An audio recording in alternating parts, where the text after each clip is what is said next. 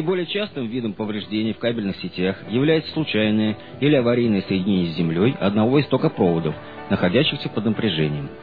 Предприятия, эксплуатирующие кабельные линии, должны иметь электротехнические лаборатории, оснащенные аппаратами для определения мест повреждения, измерительными приборами и передвижными измерительными и испытательными установками.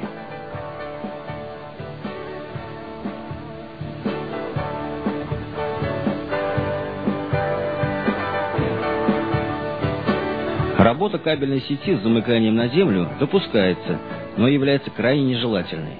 Поэтому при возникновении замыкания на землю персонал должен немедленно приступить к отысканию места повреждений.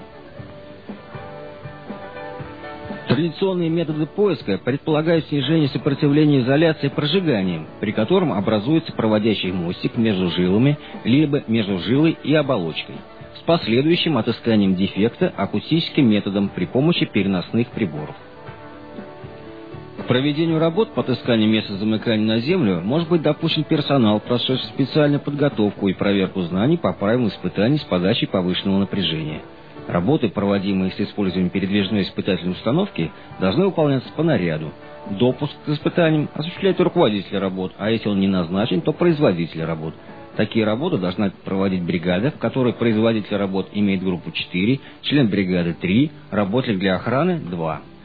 Прибыв на ТП, испытываемое оборудование, испытательная установка ограждаются канатами с плакатами «Испытание опасно для жизни», обращенными наружу. При необходимости следует выставить охрану из членов бригады для предотвращения приближения посторонних людей к испытательной установке. Перед сборкой испытательной схемы выполняется защитное и рабочее заземление испытательной установки – Корпус передвижной испытательной установки заземляется отдельным заземляющим проводником из гибкого медного провода. Производится измерение сопротивления изоляции мегаомметром с целью определения поврежденной фазы. Измерения осуществляются на отключенных ток-ведущих частях, с которых снят заряд путем их предварительного заземления. Переносные заземления снимаются последовательно с каждой шины после подключения мегаомметра. При замыкании на землю одной из фаз показания прибора будут равны нулю при металлическом замыкании.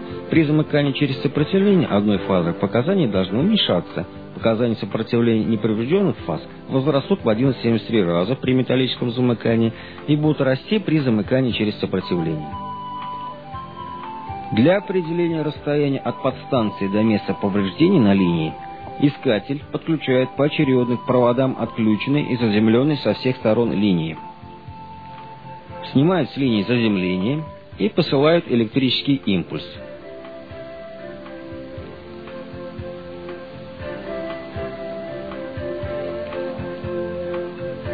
В месте повреждения импульс отражается от неоднородности волнового сопротивления и возвращается к началу линии. Расстояние до места повреждения может быть подсчитано по формуле L равно 0,5 ТВ.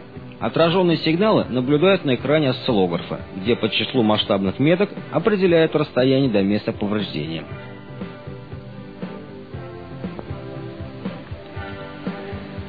Это расстояние при помощи курвиметра откладывается на планшете и таким образом определяется место замыкания на Землю.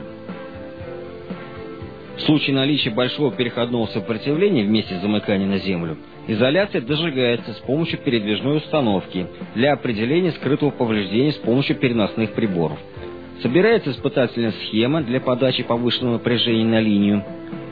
Производить все работы разрешается только по указанию руководителя испытаний и после их заземления. С момента снятия заземления с вывода установки вся испытательная установка, включая испытываемое оборудование и соединительные провода, должны считаться находящимся под напряжением. Только по команде напряжение снято, производится пересоединение провода или в случае полного окончания испытания отсоединение их от испытательной установки.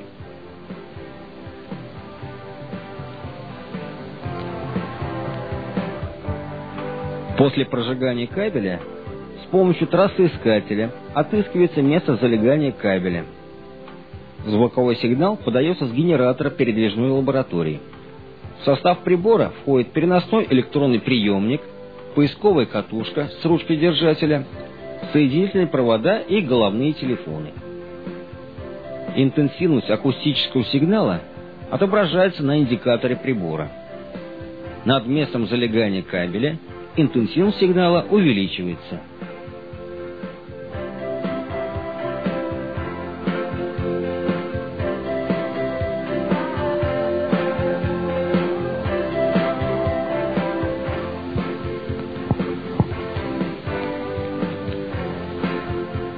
Поиск залегания кабеля и отыскание места повреждения можно производить магнитоиндукционным методом. Кабель через генератор звуковой частоты подается сигнал, который, проходя по кабелю, отражается в месте повреждения, что отражается на индикаторе прибора и фиксируется головными телефонами. В качестве датчика используется магнитная антенна с фиксацией относительно штанги на 0, 45 и 90 градусов.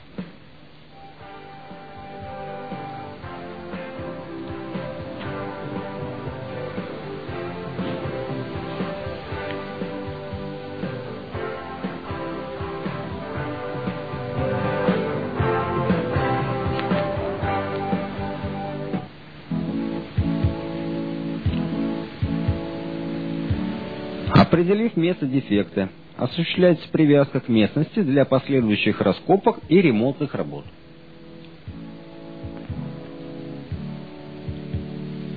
Поддержание нормального качества отпускаемой электроэнергии и соблюдение договорных условий энергоснабжения потребителей напрямую зависит от оперативности и грамотности персонала при устранении аварийных ситуаций.